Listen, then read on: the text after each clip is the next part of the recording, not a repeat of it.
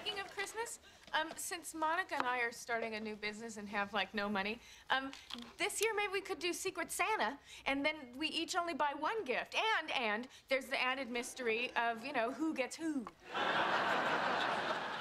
Who gets whom?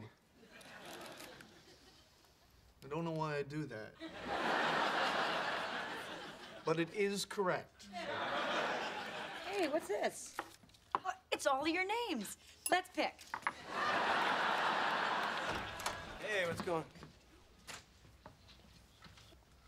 No, Joey, Joey, stay. stay. Come here. Joey, come on. We're picking names for Secret Santa. Okay. I invented Secret Santa, you know. What are you laughing at? You're the one who said Die Hard was your idea. It was. Don't make me show you the napkin.